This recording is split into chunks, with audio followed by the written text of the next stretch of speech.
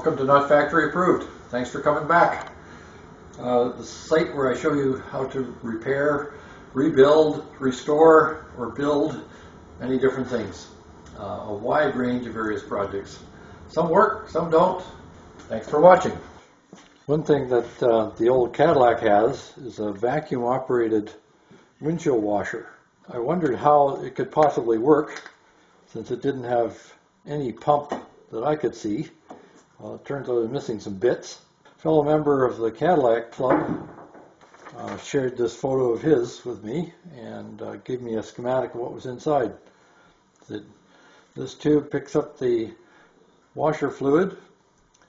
The vacuum pulls up the diaphragm inside uh, with a ball stop, a check valve, and then there's a spring. Once you release the vacuum, it pushes the diaphragm back down and squirts the fluid out.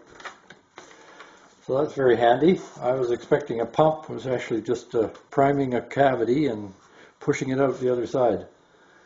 So this diaphragm that was in here originally is very hard and uh, has a big hole in it and rips quite easily. So I'm trying to form this 1 16th rubber neoprene fit down inside here. What I've found is I'll use heat and then a little spray can without the cap and without any stock sticking out. That will form part of it. And then the other part um, I will form on top of uh, possibly this or on top of this bottom of the diaphragm. Got this apart with a small screwdriver. I'm just carefully prying it out bit by bit until it was clear and would allow me to remove the cap, brush the rust out of it. And the cat wants attention. Life is full of major decisions. Uh, this is the original bracket for mounting the vacuum operated windshield washer in the Cadillac. I found this Adams peanut butter jar which happens to fit and then there's a strap goes around underneath to hold it up and a rubber seal around the top. Problem is that this cap is completely shot. I'm not sure what I'm going to do about that. I would like to find another lid. The actual one that goes with the jar might just have to buy a big jar of peanut butter other temptation is that I think this is from about a 54 or 55, vacuum operated as well, windshield washer. It has an actual pump inside. It's driven by vacuum. So I'm half tempted to use that. And it is a bigger jar. Holds more washer fluid, but then it won't be original little further original than Adams peanut butter. Ah, uh, scratch the head. What to do? I made a decision regarding the uh, windshield washer for the Cadillac. Rather than rebuilding one that's from around a 54, 55, I'm going to stick with the one as closest as possible to, to uh, original and that's this diaphragm operated one. The, the uh, 54 55 one needed um, a lot of work as well, so I thought, why put all that work into one that is not original? So I'm working on this one. This, I've sealed off the bottom that way. That's the plan. This is the bottom cup for the spring. It sits in here. The spring goes on top of it that. This is sitting a little high, so I'm going to take that out again and reduce the size, the thickness of that. I'm going to have to find some way of protecting this diaphragm so that when it comes down, it's not getting uh, pinched.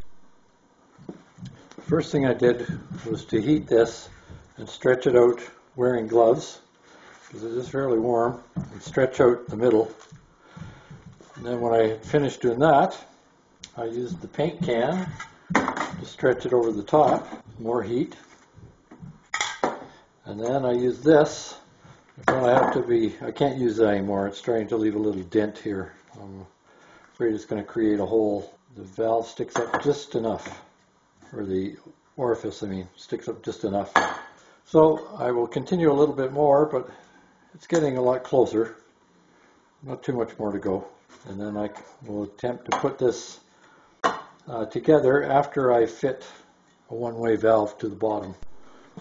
The last bit of forming I did is to heat it up and use one end over top of the other. Why didn't I think of that before? And then that stretches it down. So I'll give it one more treatment and I think it probably will be sufficient. Here goes.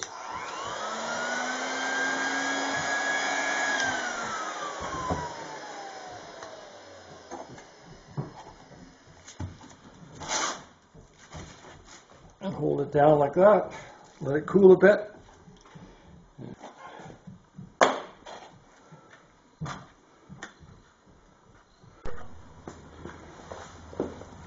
What I've done now is these uh, filings prove it. I filed this down to roughly half of the thickness it was before, rounded the edges, domed the top of it, uh, took a drill bit and removed the burrs that were inside there. So hopefully this will now have minimal effect on the diaphragm when it's sitting with the spring against it. I might be doing this again in the future, but try this part. That goes back in there and uh, start putting it back together. I put it together. Uh, I've given it a bit more heat. And so the spring is inside, pulling on the diaphragm. I've given it a bit of heat to stretch it out.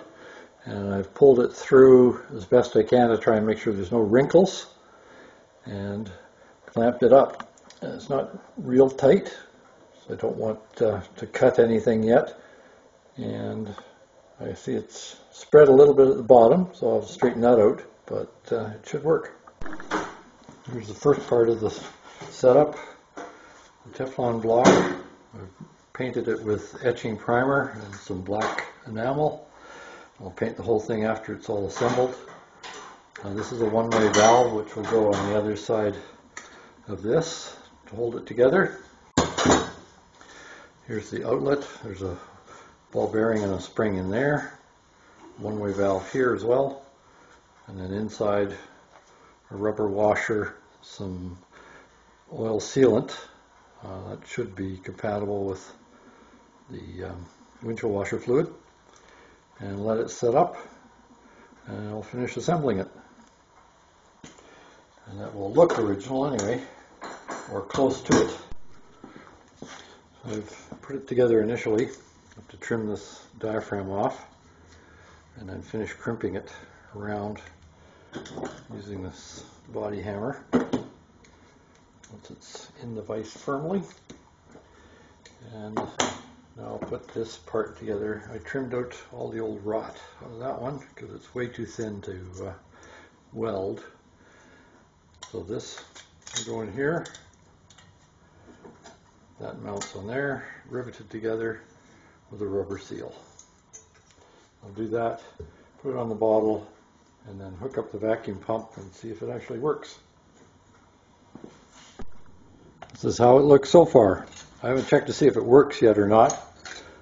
The uh, fill lid moves, rotates nicely. It's all put together. I've hammered this down uh, gently and repeatedly. Try and crimp it over the edge and get it into the same shape it was in before. The difference now is that the rubber is crimped in there. Uh, since I don't have a preformed diaphragm and had to use stretch rubber to get in there, a nitrile sheet. So uh, the easiest way was to pull it through, clamp it together, crimp this down a bit, and then trim off the edges. We'll see how that does. It's all together. It's got the spring inside. We'll check it with the vacuum pump. I was trying to use this vacuum pump to drive that windshield washer pump to make sure it worked. This vacuum pump is pretty anemic. and that's why the corrosion on the ports being in storage. So I'll have to clean that. Clean that, take the head off here, and clean the one underneath as well.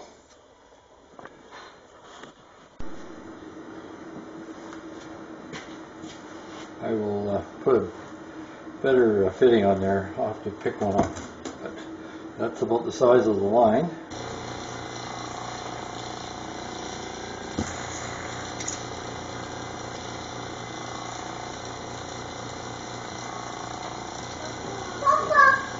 Hello. Hi. Look, it's an owl. Did you? Yeah. Look,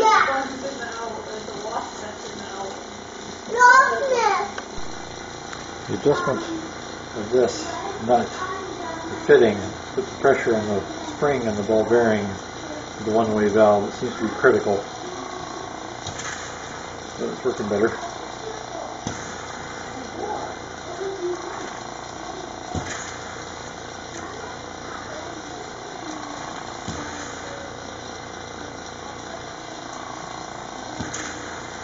Try and get a little better nut.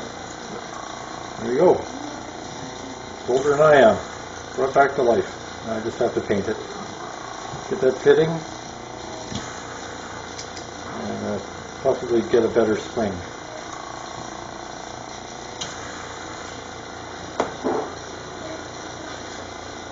This is Cookie the cat. Not our cat. She comes in here every once in a while to see if there's any mice around and to get patted. I'm not a cat person, but you're okay, Cookie.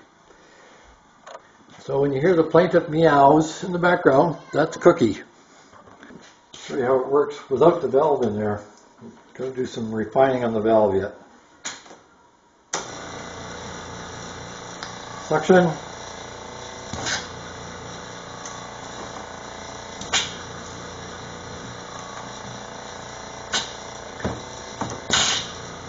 A little bit more pressure.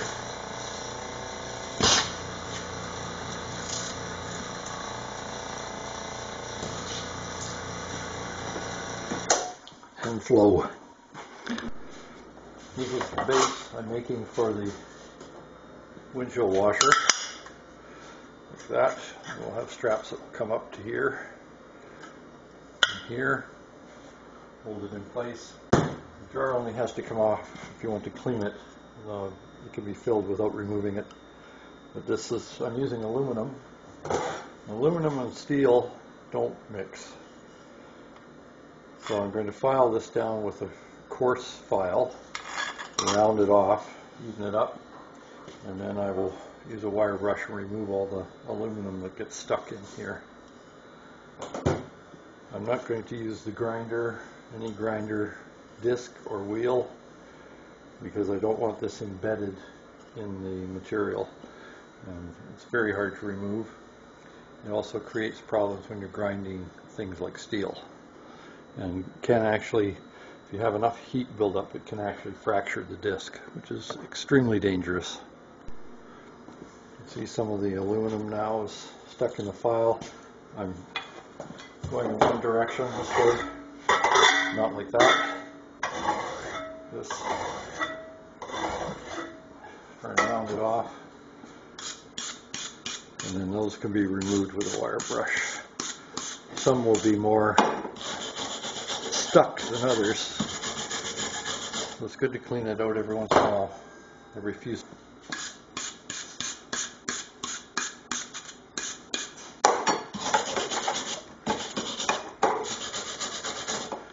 There's also a special brush It's very stiff and short bristles for removing metal filings from a file. I don't have one, but they're not hard to get.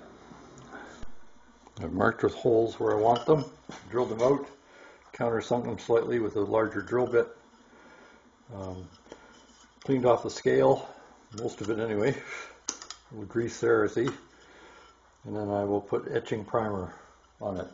Because it's aluminum, it will not take uh, regular paint very well.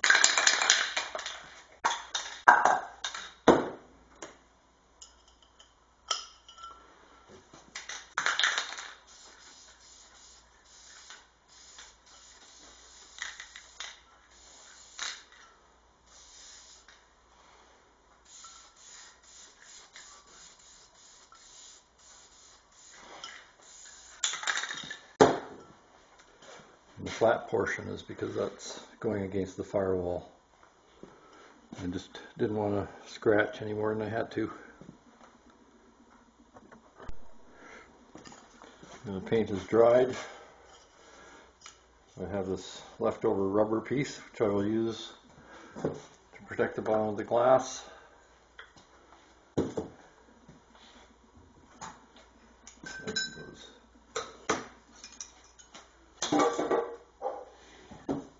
Put it back on. And in there. That. On here.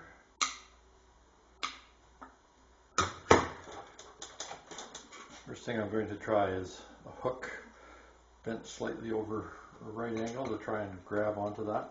I'll try the acorn nuts first.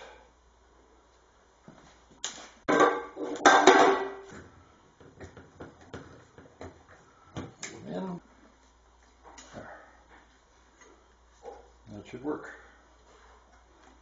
Apparently this has to bend. That seems to be okay. Tighten it up a bit.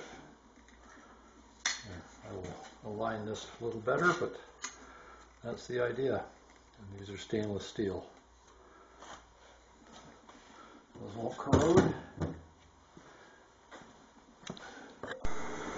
Or any pictures I can find, that's where it sits. I have a little bit of wiring to straighten out because it's uh, apparently I had them exiting the wrong ports and uh, not directed in the right manner. I'll straighten that up and I'll show you the final result. But there it is. One 70 year old, roughly, washer system. Success, I'd say. Sitting in there, I've uh, found out I was routing the, routing the wires the way that it says in a 42 manual. Apparently 47 is different. So there it is, rewired. Uh, wire routing is changed. Just have to hook up the oil line for the oil pressure gauge, then the lines for the uh, actual washer fluid. And it should be all done.